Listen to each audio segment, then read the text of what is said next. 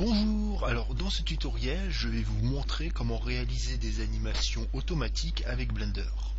Donc pour réaliser des animations dans Blender euh, de façon basique il suffit d'appuyer sur I pour créer une image clé. Ici euh, créer une image clé dans la timeline.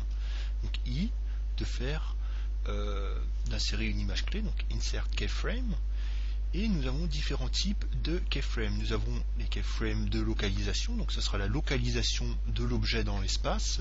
Nous avons les keyframes de rotation, donc ce sera la rotation de l'objet. De scaling, donc le scaling c'est le redimensionnement. Et maintenant nous avons en dessous euh, les combos, donc euh, localisation et rotation, localisation et redimensionnement, et localisation, rotation et redimensionnement, et rotation redimensionnement.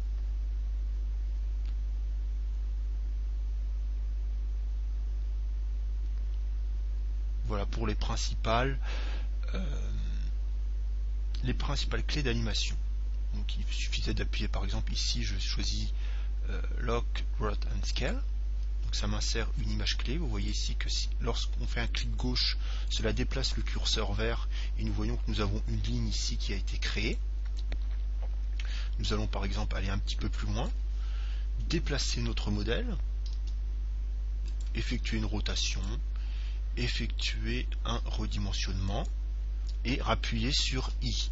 Et ici nous allons remettre Lock, Rot and Scale. Donc là, hop, et ça va insérer une nouvelle image que vous voyez ici, une image clé. Et Blender va calculer toute l'interpolation. Donc l'interpolation, c'est tout ce qui se passe entre les deux images pour créer une animation euh, fluide. Donc nous allons le voir. Donc ici je suis à l'image 40, donc je vais mettre jusqu'à l'image 41, mettons. Voilà, donc euh, le fait de redéfinir, euh, ici nous avons un démarrage d'animation qui se fait à l'image 1 et une fin d'animation qui se termine à l'image 41. Et maintenant avec Alt A, excusez-moi, je vais je l'ai pas activé, mais c'est pas grave. Je vous dis le raccourci clavier parce que je voulais activer une fonction qui allait afficher les raccourcis clavier, mais je vais vous les dire hein, parce que euh, de faire Alt A et vous voyez l'animation se joue. Donc je fais CTRL Z pour revenir en arrière, CTRL Z pour supprimer toutes les images clés, puisque nous allons recréer l'animation, une autre animation. Donc maintenant nous allons utiliser cette fonction ici qui s'appelle le Automatic Keyframe. Donc les images clés automatiques. C'est-à-dire que Blender va générer automatiquement les images clés. Je m'explique. Nous n'aurons plus besoin d'appuyer sur le bouton I maintenant pour créer des clés d'animation. Il nous suffit de cliquer ici. Et nous avons quand même besoin de créer une première clé d'animation. Donc euh, appuyez sur I, Lock, Rot and Scale. Pour créer la première clé d'animation. Ensuite, nous passons par exemple à l'image 50. Nous redéplaçons notre objet, effectuons une rotation et un redimensionnement. Et cela crée une image clé automatiquement.